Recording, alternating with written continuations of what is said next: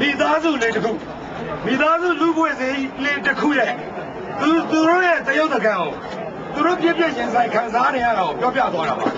အလားတူပဲကျွန်တော်တို့မြန်မာလူ့ဘဝစီတစ်ခုလုံးရဲ့တရုတ်တကံကိုလည်းကျွန်တော်တို့နားလည်ဖို့ကြိုးစားဖို့လိုပါလိမ့်မယ်အဲဒီအခါမှာရှုမြင်နေရတယ်ကြည့်ရှုမြင်သုံးသပ်ကြတဲ့ပုံစံတွေတင်ပြကြတဲ့ပုံစံတွေမှာကွဲနိုင်ပါတယ်ကြဗျာဆရာကိုရင်မောကသူ့အမြင်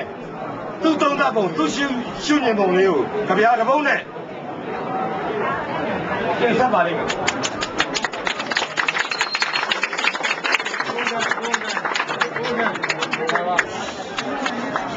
ကျွန်တော်ကြပြတဘိုးရုပ်ပါမယ်ကြပြကောင်းစဉ်ကဒီရှိကလမ်းလို့ အမည်ရပါတယ်လာမင်းကြီးလိုပဲအိမ်ရှိကလမ်းကိုတာစီခြင်းနဲ့ဒီလမ်းကိုငါမပိုင်ပါဘူးဒီလမ်းကိုမဖြတ်ဖဲလဲငါအိမ်ကိုမရောက်နိုင်ဘူးငါစိတ်တန့်ရှင်းဖို့ဒီလမ်းကိုလှဲရကျင်းရပြေဦးမယ် ကျေးဇူးတင်ပါတယ်နော်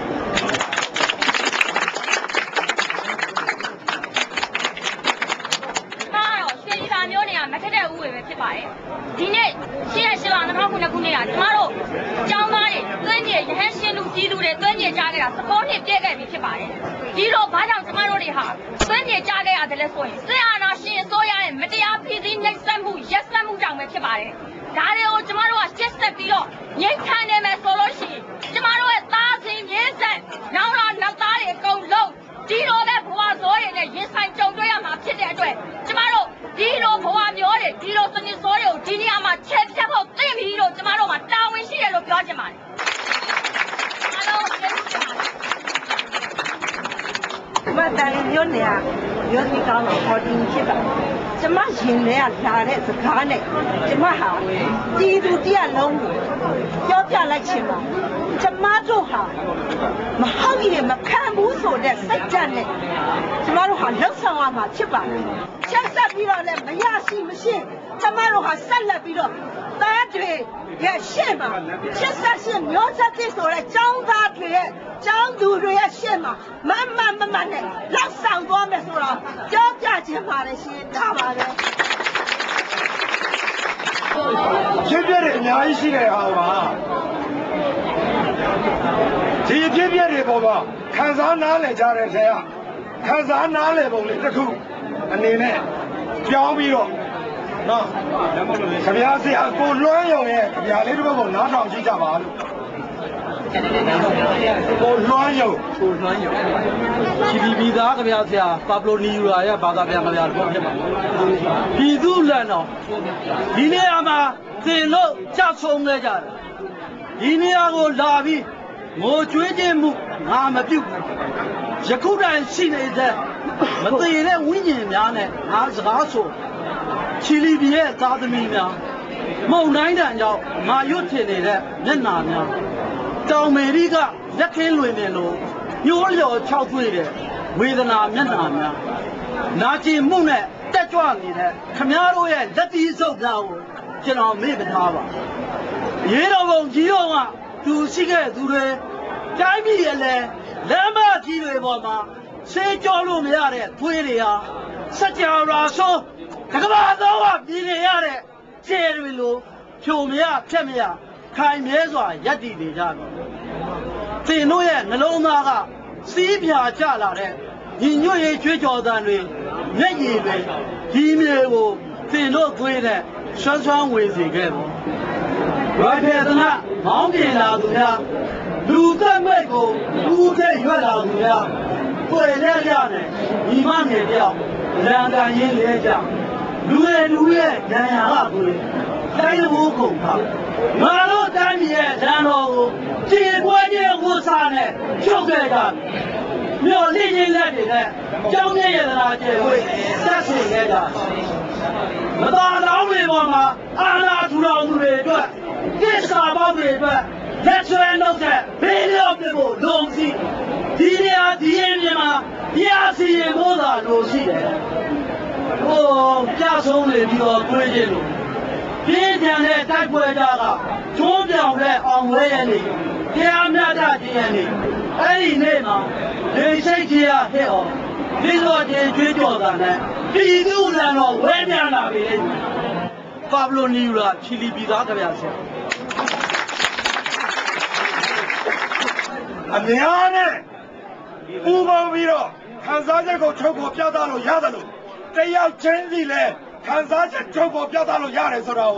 သက်သေပြခဲ့တဲ့လူတစ်ယောက်ကစကားပြောပါလိမ့်မယ်ကိုအောင်တန်ကြွပါခင်ဗျာကျွန်တော်ကတော့အားလုံးသိတဲ့အတိုင်းကျွန်တော်တာမန်အရတာ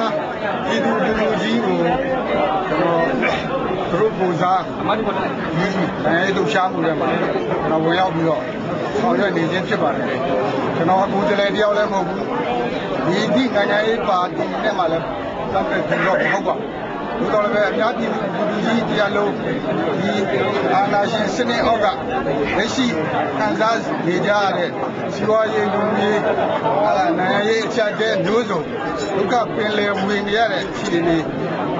ဇိုးတွေအောက်ကအញ្ញံဆုံးလွတ်မြောက်ဖို့အတွက်ကျွန်တော်ဟာဥဒိချတဲတဲ့ဘွေ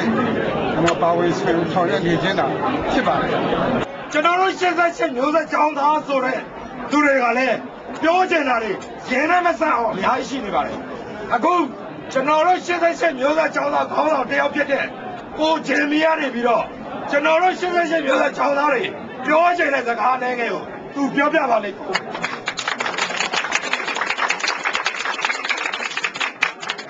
နိုင်တဲ့လူတရားချင်းဆိုပြီးတော့ကြည်စံတဲ့တမိုင်းရဲချင်ကြသလားဟောဒီចောင်းသားမျိုးဆက်ကုံမအဲ့ဒီတရားကိုမင်းတို့ရမယ် နိုင်တဲ့လူတရားချင်းဆိုပြီးအမြောက်တင်တဲ့တမိုင်းရဲချင်ကြသလားကောင်းကင်ဘော်ကမိုးဆက်တဲ့၆ခမ်းမအဲ့ဒီတမိုင်းကိုမင်းတို့ရမယ်တရားတဲ့လူကနိုင်ရဲဟဲ့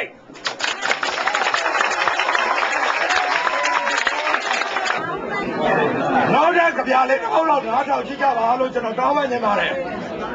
ကိုစံလေးကြပြတစ်ခေါက်လောက်ရွတ်ပြပါ88ဆိုတာ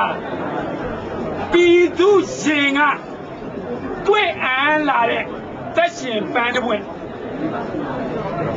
88ဆိုတာဒီနေ့အုပ်ချုပ်အမျက်ထုတ်သူတွေရဲ့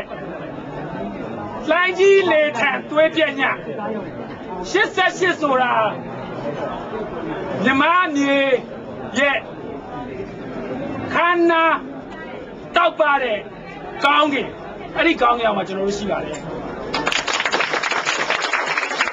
ကျွန်တော်တို့88မျိုးဆက်ကြောင်းသားတင်ကြီးပဲမဟုတ်ဘူးပါဘူးပြောတဲ့စကားရှိနေတဲ့သူတွေကအများကြီးပါပဲ2009ခုနှစ်မျိုးဆက်ကြောင်းသားတွေမှာရောစကားပြောကြမရှိဘူးလားရှိပါတယ်ကိုတင်ချင်းလေးခင်ဗျကျွန်တော်ကတော့စီသူမောင်ပါရန်ကုန်စီးပွားရေးတက္ကသိုလ်မှာလက်ရှိပညာသင်ကြားနေတဲ့ကျောင်းသားတစ်ယောက်ဖြစ်တယ်ဟုတ်ကျွန်တော်တို့ကတိုင်းကျွန်တော်တို့အခုတက်ရောက်သင်ကြားနေတဲ့ကျောင်းမှာဆိုရင်ကျွန်တော်တို့ရဲ့ရာသင်ရလိုက်တဲ့အခြေခံအခွင့်အရေးတွေဆုံးရှုံးနေတယ် ဒီဆုံးရှုံးမှုကိုကျွန်တော်တို့ရအောင်ရာသင်ရလိုက်တဲ့အခွင့်အရေးကိုရအောင်ယူတဲ့နေရာမှာတရားဒီတရားဥပဒေပေါင်းလဲရပဲငြိမ်းချမ်းစွာကျွန်တော်တို့ကတောင်းဆိုခဲ့ရအောင်ကျွန်တော်တို့ကိုစူပူအောင်ကြတယ်လို့ပြောတယ်ကျွန်တော်တို့ကဘယ်သူမှအမြောက်ပေးခြင်းမရှိဘူးဆိုတော့ကျွန်တော်ပြောချင်တယ်ပညာရေးဖြင့်ခင်မီဖွံ့ဖြိုးတိုးတက်တဲ့နိုင်ငံကြီးတည်ဆောက်ပါလို့ပြောတဲ့နေရာမှာကျွန်တော်တို့ပညာရေးနှုတ်ချိုတောက်သုံးနေတဲ့ကျွန်တော်တို့ကျောင်းသားကျောင်းသူတွေရဲ့ရာသင်ရလိုက်တဲ့အခြေခံအခွင့်အရေးတွေမရဘဲနဲ့ခင်မီဖွံ့ဖြိုးတိုးတက်တဲ့နိုင်ငံကိုဘယ်လိုစောင့်မှာလဲ ဒါပဲကျွန်တော်ပြောချင်ပါတယ်